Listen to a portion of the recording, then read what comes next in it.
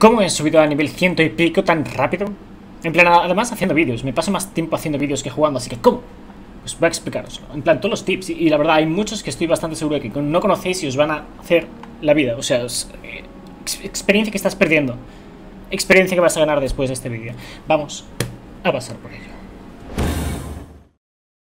Nuestro patrocinador Blazing Boost ofrece servicios de ayuda en Destiny para ayudaros a conseguir aquello que más queréis del juego, al mismo tiempo que aprendéis con ellos. Desde la incursión de cámara de cristal en dificultad maestro hasta las pruebas de Osiris, pueden ayudaros con todo lo que necesitéis y además ahora contamos con un código de descuento de un 5%, Wild, como veis de fondo en pantalla, y lo podéis usar en cualquier actividad.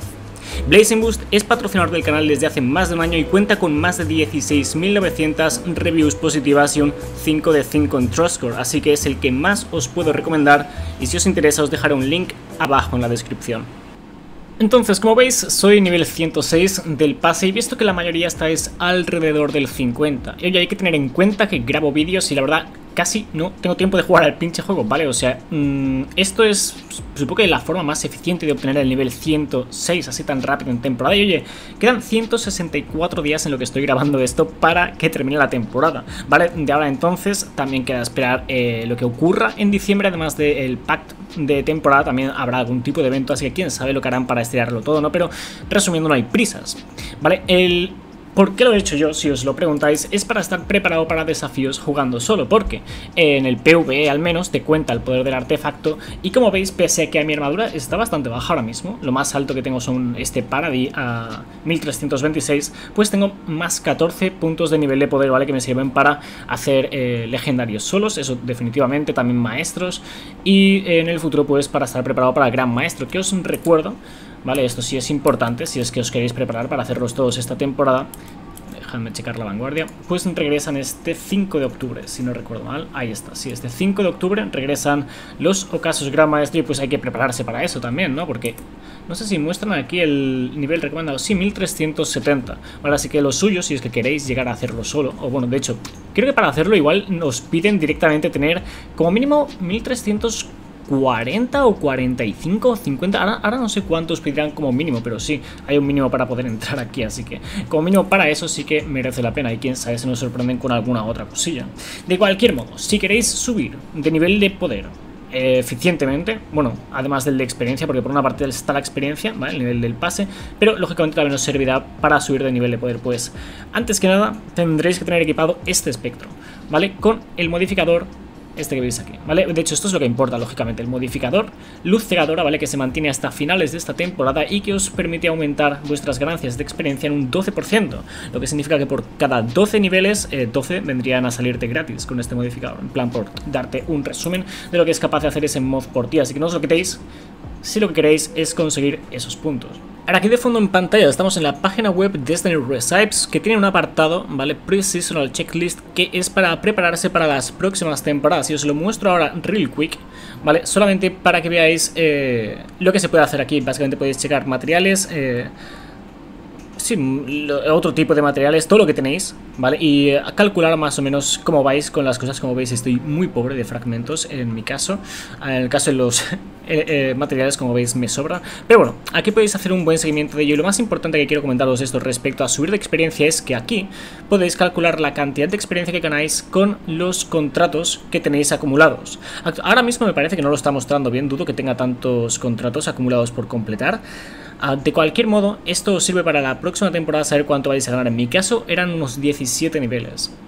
Este es el gameplay del día de lanzamiento de la temporada, ¿vale? Y apenas a unos minutos de que, se la, de que fuera a lanzar, como veis, estaba checando que tuviera el modificador del 12%. Y nada, me pongo a entregar contratos sin parar. Y bueno, aquí os podéis hacer un ejemplo de lo que hacemos con estos contratos.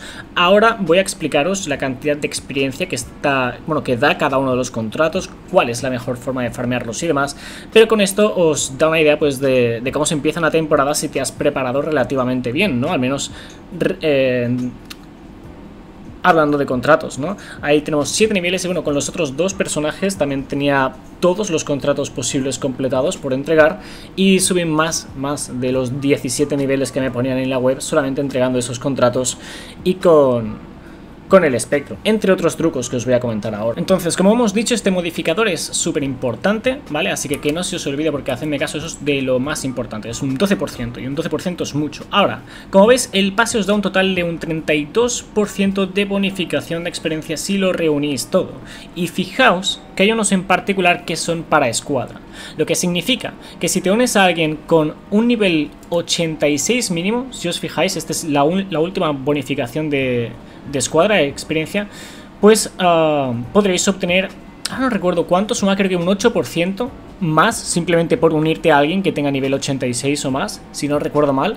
Así que resumiendo, lo más importante antes de canjear todos esos contratos o desafíos y demás es que os unáis a alguien con nivel 86 o más. O sea, es lo más recomendado porque os aplicará un total de 8% más de ganancias de experiencia.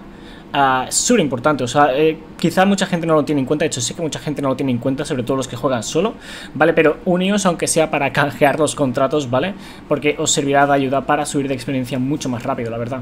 Y bueno, además de los contratos, tened en cuenta que también podéis completar todo tipo de actividades, ¿vale? Y se os aplicará ese 8% extra de experiencia, ¿vale? O sea, básicamente merece mucho la pena farmear con gente que tenga a un nivel 86 o más. O sea, eso vendría a ser lo más recomendado si quieres la máxima bonificación de experiencia.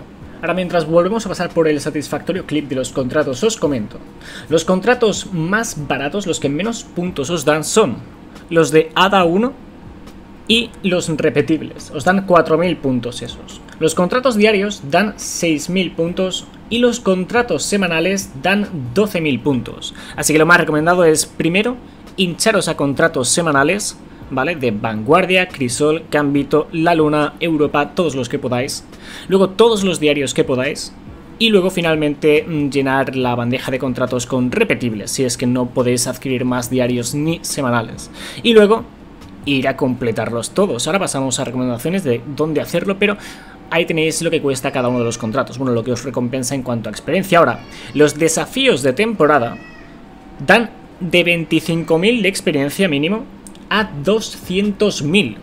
¿Vale? Hay unos que os dan más o menos, pero os pueden dar hasta 200.000 de experiencia en los desafíos de temporada, así que hacedme el favor de hacerlos todos. ¿Vale? Si quieres la experiencia, además de un puñado de polvo luminoso para comprar estas cositas también, os recomiendo completar todos los desafíos de temporada. Hacedme caso que eso marca una gran diferencia en cuanto a la experiencia que recibes y esos niveles de poder que vas sumando mientras subes niveles del pase, 100%. Recomendado. Entonces, como os digo, estos os pueden dar de 25.000 a 200.000. Los contratos repetibles y de ADA 1 dan 4.000 puntos de experiencia. Los, estos, por ejemplo, los de ADA 1 quiero decir, los diarios dan 6.000 y los semanales dan 12.000 de experiencia. Luego, por otra parte, los desafíos semanales, ¿vale? Es decir, los de eh, el Nómada, Shax, estos de aquí quiero decir, os recompensan con 12.000 de experiencia. Si no me equivoco, todos recompensan con 12.000 de experiencia, ¿vale? Incluyendo también los de la desconocida y los de las distintas destinaciones, como no. Luego, las aventuras también os pueden recompensar con experiencia, así que ¿por qué no checar si has completado ya todas las de Nueva Luz? Por ejemplo, esta me da experiencia y como veis hay un doble plus ahí, lo que significa que da un buen puño de experiencia, ¿no? O sea, quizás no mucho, es decir, no tanto como los 200.000 que hemos hablado antes, pero esa experiencia con dos pluses significa buena experiencia, así que eso estaría bien, ¿vale? Mientras hacéis otra serie de contratos y actividades, ¿vale? Bueno, este es el, del estandarte, ¿vale? Así que eso lo podemos dejar ahí por ahora, pero sí, o sea, os recomiendo también, pues, prestar atención a las aventuras porque esas también dan un algo de experiencia y quizás no podéis completar todo junto con los contratos. Enseguida paso a las recomendaciones de dónde completarlo todo. Pero antes, quería comentaros otro último truco y es que cada semana a partir del reinicio semanal, a partir del martes, hay un buff que se os aplica aquí. Ahora mismo ya lo he gastado yo. Pero básicamente ese buff de bien descansado, creo que se llama en español, si no me equivoco, aumenta en un 100% la experiencia ganada hasta que subas 5 niveles esa semana. ¿Vale? Así que tanto por los desafíos y contratos semanales, además de los de temporada, pues recomiendo hacer un poco cada martes para aprovechar todo eso y sacar repartido. Ahora, sabiendo todo eso, cuál es el mejor lugar para farmear la mayor cantidad de contratos y de hecho quedarse ahí, si queréis, esto os voy a explicar un buen truquito, pues es iros a Ciudad Onírica, ¿vale? Y de hecho os voy a dar recomendaciones si no tenéis los renegados, ¿vale? Pero si los tenéis, los renegados, os recomendaría Por una parte está el Pozo Ciego, ahí se pueden farmear muchísimos enemigos muy rápido, así que ¿por qué no? Luego, alineamiento alineación astral, eh, esta temporada en particular, al final, en la sala del jefe, al menos cuando te aparece el ogro, aparecen infinitos enemigos en el centro, ahí se pueden farmear pila de contratos también. Luego, en la mazmorra el trono despedazado, en la, parte inicial se puede farmear un poco, pero es muy lento porque tienes que suicidarte para que vuelvan a aparecer. Lo recomendable es pasar a la zona de los ogros, ¿vale? Hasta llegar a ese pasillo donde te suprimen y no puedes volar, ¿vale? Donde aparecen lacayos oscuros infinitos y son muy fáciles de derrotar. Ahí puedes estar farmeando eh, pues, muy, pero que muy rápido. Y finalmente estaría, como no, Shurochi, ¿vale? Podéis hacer el deseo número Ah, no recuerdo cuál era el número, no os quiero engañar con eso, pero buscáis el deseo de número chi, ¿vale? Os subí todos en un vídeo y eh, en esa sala al principio pues es muy fácil farmear, además de que puedes poner bandera y farmear todo tipo de cosas, ya sean super o lo que sea. Ah, y luego Uh, algo que podéis hacer súper importante es utilizar la aplicación Companion de Destiny. ¿vale? La aplicación oficial de Destiny la podéis encontrar para Android, iPhone eh, y demás. Os permite sacar contratos directamente desde el móvil, ¿vale? Sin tener que ir a, la torre ni a ningún lado. Entonces, uh, podéis ir a cualquiera de los lugares que os he mencionado antes, ¿vale? Y por cierto, ahora paso a las recomendaciones para que no tiene los renegados. Podéis ir a cualquiera de esos lugares y pasaros contratos cada vez que los vais completando, en particular los de la armería esos los podéis completar así del tirón. Y si por ejemplo estáis en una destinación como la de Luna o Europa, por ejemplo, pues podéis ir farmeando tanto los de la armería como el de Barix en este caso. En la luna pues podréis farmear los de Aries y los de la armería. Y me refiero a farmearlos de modo que una vez los completas los sacas directamente desde el móvil, sin moverte mucho, ¿vale? Y así pues le sacas máximo partido. Y hablando de la luna, ¿vale? Este es un muy buen lugar para quienes no tienen el DLC, porque os podéis ir a Puerto de las Lamentaciones. ¿vale? Aquí toma lugar Altares del Dolor, ¿vale? Y es una actividad donde aparecen muchos enemigos, con diferencia, ¿vale? Si no tienes DLC, creo que es de los mejores lugares con diferencia para ir a farmear una gran cantidad de enemigos y, como no, contratos, ¿vale? Así que sí, esos son los lugares que más recomendaría para completar estos contratos. Como digo, la actividad de esta semana, eh, perdón, de esta temporada, alineación astral, es muy buena también para eso, porque al final, al menos durante el jefe, aparecen muchísimos enemigos, así que es algo a considerar. Pero como os digo, en Ciudad América en particular hay muchos lugares donde farmear este tipo de enemigos, y si no tuvierais el DLC, pues yo me iría a Altares del Trono. Ahora, sé que seguro que tenéis en mente algún que otro mejor lugar para farmear o alguna otra opción, ¿vale? O alguna otra variedad, si queréis variar.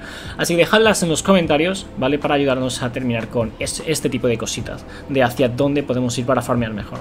De cualquier modo, esa es la idea, ¿vale? Primero conseguir todos los semanales posibles, luego todos los diarios, todos los repetibles, aseguraos de tener el bonificador del 12%, aseguraos también de uniros a alguien que tenga nivel 86 o más para completarlo todo, al menos entregar los contratos, también aprovechar aprovechar el buff de los martes y bueno, todo lo que os he mencionado antes, ¿vale? es la forma más eficiente de subir de nivel, ¿vale? Y os lo digo yo, ¿vale? Que no he podido jugar tanto realmente, ¿vale? Ah, me paso mucho rato haciendo vídeos, ¿vale? Así que sí, en mi opinión esto, al menos a mí me ha servido mucho y espero que también a vosotros ahora que lo sabéis. Así que dicho eso, mis panas, bendiciones. A farmear se ha dicho. Suscribiros si no lo estáis, decidle a vuestra madre que la queréis y nos vemos en el próximo vídeo. O en otro si vas a checarlo. Adiós.